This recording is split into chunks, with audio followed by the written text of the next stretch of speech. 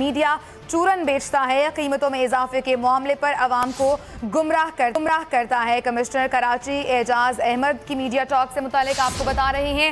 ان کی جانب سے کہا گیا کہ دودھ کی قیمتوں سے متعلق کہا جا رہا ہے کہ عوام پر مہنگائی کا پہاڑ توڑا گیا ہے۔ دودھ کی قیمت بڑھے گی تو کہا جائے گا۔ کمشنر نااہل، حکومت نااہل۔ ان کی جانب سے یہ الفاظ استعمال کیے گئے ہیں اور یہ بھی کہا گیا ہے کہ میڈیا کو کوئی اختیار نہیں کہ دودھ کی قیمت سے متعلق وہ مجھ سے سوال پوچھے۔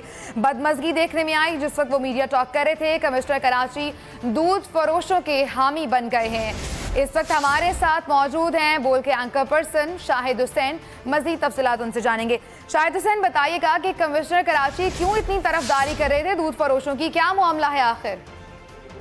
دیکھیں، دودھ کی قیمتوں کے تعین کے حوالے سے سندھ ہائی کورٹ نے حکم دیا تھا کہ تمام ڈیری فارمرز اور اسٹیک ہولڈرز جو ہیں وہ اجلاس بلائیں اور اس کے بعد دودھ کی قیمت کا تعین کر کے رپورٹ عدالت میں پیش کریں۔ آج جب کمشنر کراچی عدالت آئے اور دودھ کی قیمت کے حوالے سے جو ہے وہ سماعت ہونا تھی، اس سے پہلے صحافیوں نے پوچھا کہ کیا قیمت کا تعین کیا جا چکا ہے، جس پر کمشنر کراچی جو ہے برہم ہو گئے صحافیوں سے بدتمیزی کی، ان کا کہنا تھا کہ میڈیا جو ہے چورن بیچتا ہے اور اگر دودھ کی قیمت بڑھا دی جائے گی تو اس پر میڈیا جو کہہ رہا ہوگا کہ حکومت نااہل ہے اور کمشنر بھی نااہل ہو چکا ہے اور میڈیا کو کوئی جو ہے وہ حکم نہیں، کوئی اختیار نہیں کہ وہ کمشنر کراچی سے دودھ کی قیمتوں یا کسی بھی حوالے سے کوئی سوال پوچھے۔ اس وقت قیمتوں کے تعین کے حوالے سے سماعت جو ہے وہ جاری ہے اور کمشنر کراچی نے دودھ کی قیمتوں کے تعین کے حوالے سے عدالت میں ایک نوٹیفیکیشن پیش کر دیا ہے۔ اب دودھ کی قیمت آج سے جو ہے وہ چورانوے روپے فی لیٹر مقرر کر دی گئی ہے کراچی میں اور جس کے بعد ڈیری فارمرز نے اعتراض کیا، ان کا کہنا تھا کہ دودھ کی قیمت جو مقرر کی گئی ہے وہ زیادہ ہونی چاہیے، جس پر جس عقیل عباسی نے ریمارک دیے ہیں کہ دودھ کی قیمت کا تعین کے حوالے سے ڈیری فارمرز کے